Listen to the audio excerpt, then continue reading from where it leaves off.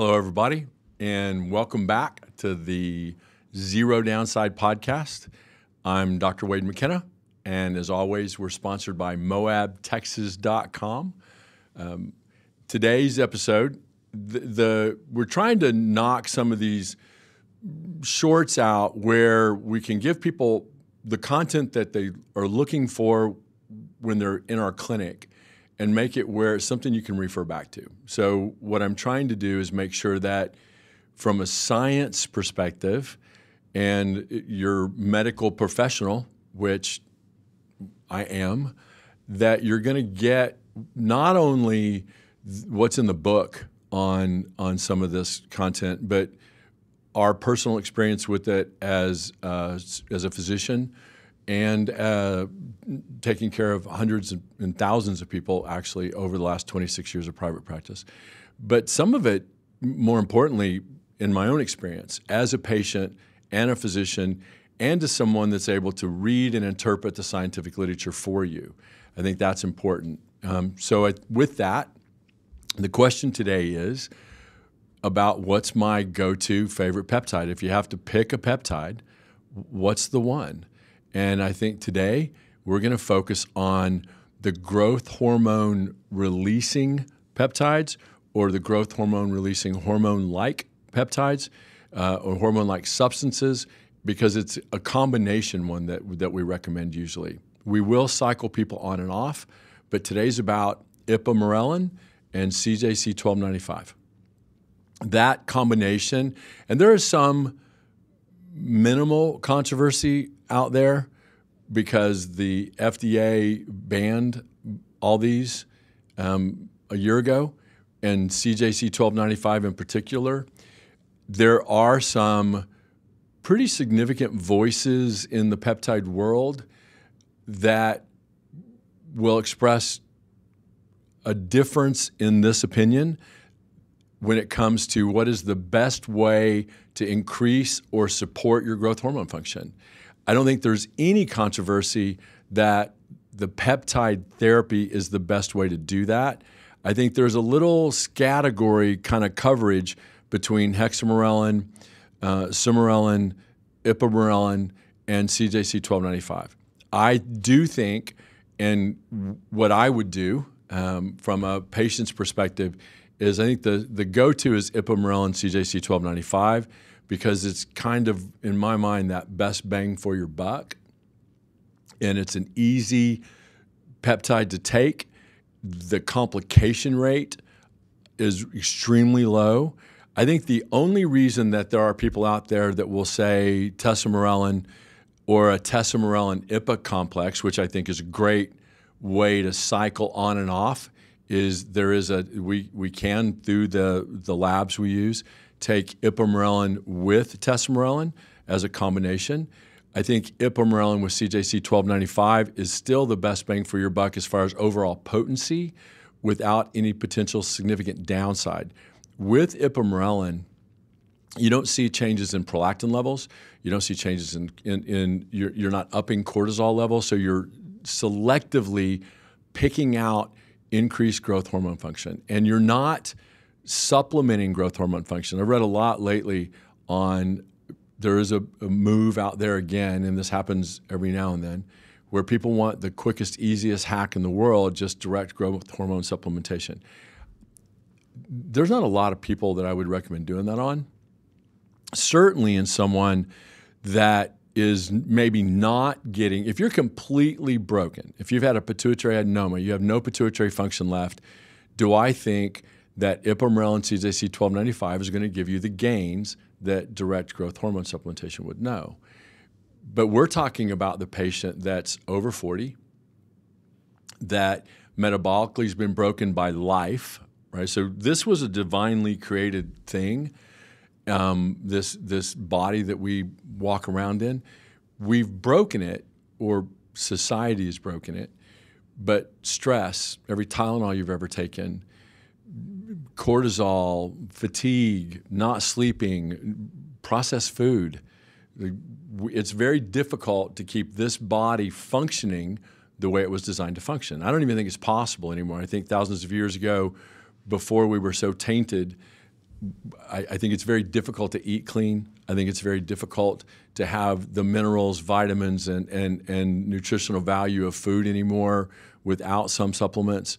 So, that being said, it's really about growth hormone and secondary IGF 1 levels. This is the, in my mind, easiest, best way in, in a cost effective format that is easy for a patient to navigate the waters in. We, there's a lot of, we have a lot of discussions in our clinic because there's, there's a list of about 40 peptides that I think are incredibly important. The stem cell, again, there's 7,000 naturally occurring peptides in the human body. The stem cell can secrete them all. So we don't even have to tell that what to do. Your body can respond if I'm going to write you peptide for peptide therapy, I need to know what the symptom is I'm trying to take care of and what the overall metabolic function, like where are you starting? For us, one of the easiest hacks, easiest go to with IPA CJC is because it's it's very supportive of your overall growth hormone levels. It is been found to make a fairly significant difference in your pituitary function. The pituitary it, growth hormone isn't just secreted all day, every day. It's secreted in a very pulsatile fashion. And what you want is when you get that pulsatile secretion of growth hormone, especially that, that late night, early morning, 3, 3 a.m., 5 a.m., big boost of, of that pulsatile growth hormone, you want to have your pituitary supported to where that growth hormone is is at a higher effective level than what you would have produced completely metabolically broken. And you want it to be where those receptors are bound a little bit to keep it from just going away as fast. That would be the combination of ipamorelin and CJC 1295 there there may be a little bit of downside with the 1295 part of this just because there is a little bit more flushing for some people. When you add CJC 1295, we, there's not a lot of flushing with just ipamorelin or tesamorelin by themselves. Hexamorelin, some of the others, there's not a lot of side effects as far as flushing or local site reaction, but the downside of the the dysregulation maybe of ghrelin or of prolactin or of cortisol, you don't want to be taking something that to increase muscle mass and let's just go through this real quick. Here's what IPA-CJC should do for someone. It's about everything really is about increasing your growth hormone function and your susceptibility or ability to use growth hormone. That is about pituitary support. That's the growth hormone releasing hormones and growth hormone releasing peptides. So this would be my my my body hack of choice. If you're going to want to recover from a workout, you want to have increased bone density. It's about bone mineral deposition, significantly increased with ipamorelin CJC. A decreased visceral adiposity, meaning you're not maintaining so much fat in your belly. And it was actually used as a drug in HIV studies years ago, and it made a dramatic difference in the visceral deposition of fat. When we're trying to reduce body fat, I think that the, the crucial part of that is not just the, the GLP 1s, because you don't want to just reduce body weight, you want to reduce body fat. And the way that your body is going to have to do that and maintain muscle mass is to maintain elevated levels of growth hormone. Um, the benefit of that is fairly significant on the cognitive side, cognitive abilities and mental clarity, decrease in depression, all noted with elevated growth hormone support peptide, in particular, this combination. For certain, there's dramatic differences in your stages of deep sleep. It supports deep sleep, non REM sleep. So there is a, a specific peptide called delta sleep inducing peptide, DSIP. IPA CJC absolutely has been found to have that same kind of override effect where you support deep non-REM sleep, and so you feel better. You get better rest. It helps support the growth hormone secretion at night, where you need to be getting some sleep. It increases your bone mineral density, so your bone density. It it changes dramatically the ability to process triglycerides and fats. It's really important in gut health. The the upside in our practice is when you have someone that's just kind of metabolically broken and someone is wanting one therapy to help I need to feel better. Right? This isn't one of those things that you need to support for 6 months to notice a difference most people on IPA CJC combination, or the, and we're just going to call it the, the growth hormone support peptide programs. Most people in our practice that start at IPA ipamorelin will notice a difference in the first several weeks. Women, it, uh, there's not a lot of difference usually between the, how a peptide affects a woman and a man. On some of them, there are certainly on the sexual wellness peptides. There's more to be gained from from women and men in different areas of, of sexual function. But with IPA-CJC, women seem to be able to get much better mineral bone density deposition, like denser bone, than than men will, and they see a much quicker result. It makes it easier to recover from a workout. It changes your levels of fatigue and energy level. And women in particular have been found to make a, it makes a significant difference in their processing of lipids. So I think that when someone has high lipid levels and they're trying to lose some body fat and they're wanting to be able to recover from a workout because when you're not doing anything forever, you're sore everywhere. You also can't sleep because you're not burning calories. And if you do starve yourself, you're not burning fat.